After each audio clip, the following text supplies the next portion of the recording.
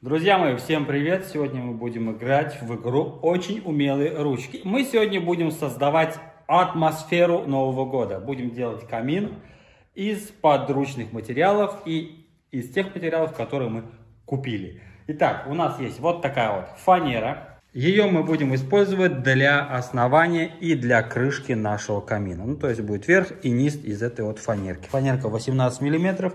Мы ее разрежем пополам. Это нам как раз хватит для того, чтобы сделать камин. Далее, мы купили вот такой вот лист гипсокартона. 12,5, сухой, профиль 50 на 40 и 50 на 50. Также взяли оборудование для того, чтобы создавать камин. Ну, естественно, впоследствии мы его будем также отделывать, делать на нем декоративную штукатурку в виде кирпичиков, будем красить. А также подведем освещение к данному камину. Ну, в общем, в результате вы увидите, что у нас получится. Поехали! Первым делом мы делаем заготовки основания и крышку нашего камина.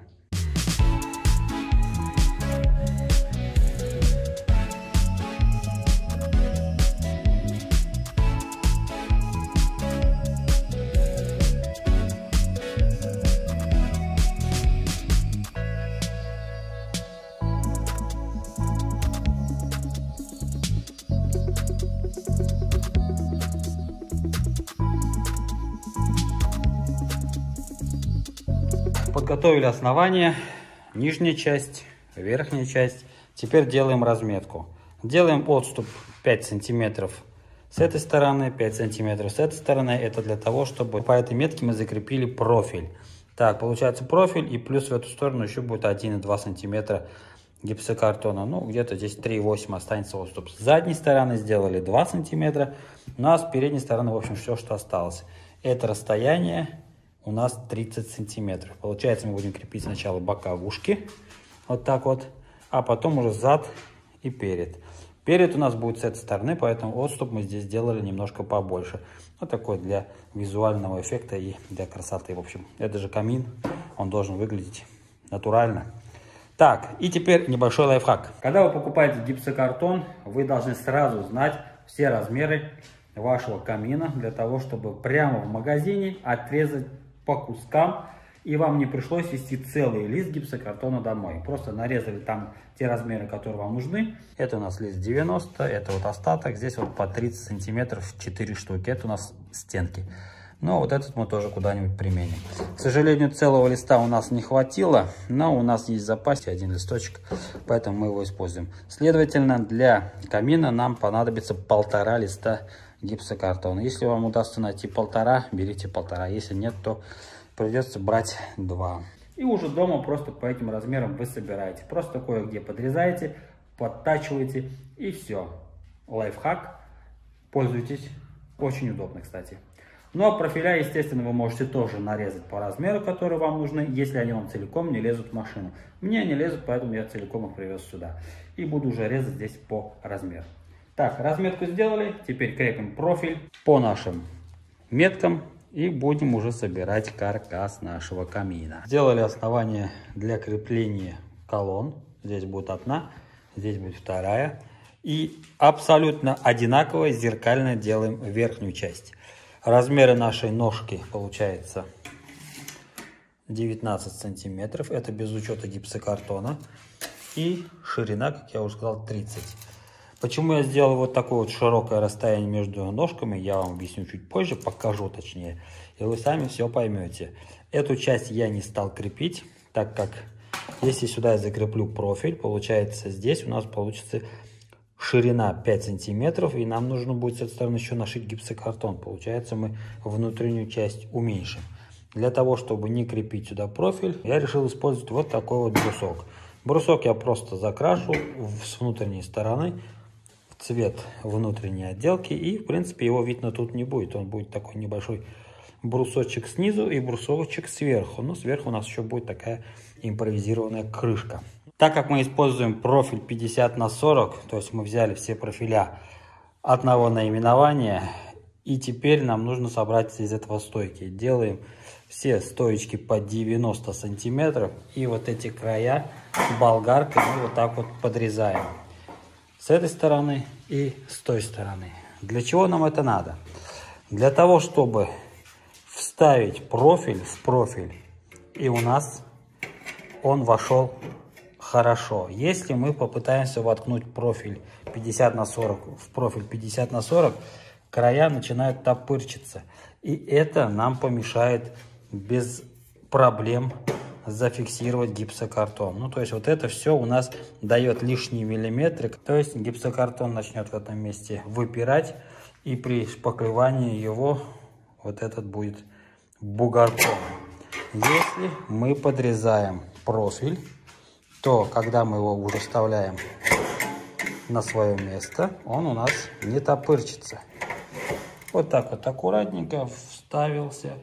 И все, мы спокойно зашиваем гипсокартон. И никаких бугорков в будущем у нас не будет. Ничего страшного, то, что профиль у нас подрезан, свои свойства он не потерял. Мы здесь все зафиксируем с помощью просекателя. И дополнительных бугорков от пришайб тоже у нас не будет.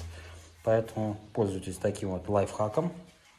Я всегда, если использую однородные профиля, всегда подрезаю вот так. Конечно, проще использовать профиль 50 на 50, но это нам пришлось бы докупать лишние профиля. А так 4 профиля 50 на 40 нам как раз хватает на данную конструкцию. Закрепили по нижней части наши стоечки. Вот они все 8 штук. Заранее подготовили боковушку. Раз, боковушку. Два. И лицевую часть нашего камина. Да, вот так вот она будет выглядеть. Отверстие я решил сделать полукругом. А, почему-то так я захотел и считаю, что так будет интереснее, потому что вот так вот по периметру у нас будут кирпичики и, соответственно, кирпичики будут вот так же. Ну, я думаю, будет смотреться все шикарно, поэтому вот такой вот вариант оставляю.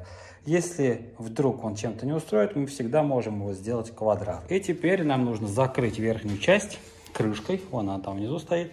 Сейчас мы его наденем, тоже зафиксируем. Фиксируем с помощью просекателя. Выглядит это вот так. Вот отверстие, вот отверстие. А это нам нужно для того, чтобы зафиксировать нашу конструкцию и чтобы никакие торчащие элементы не мешали нам а, в будущем крутить гипсокартон. Очень удобно, быстро ускоряет процесс. Короче, как-то так. Поехали дальше. Верхние и нижние части каркаса нашего камина готовы. Немножко конструкция жидкая, но в этом нет ничего страшного, не пугайтесь. Усиление как раз нам даст листы гипсокартона. Когда мы их зафиксируем, закрепим, наш камин уже будет жесткий и не будет вот такой вот, такой вот вибрации. Так что сейчас крепим листы гипсокартона.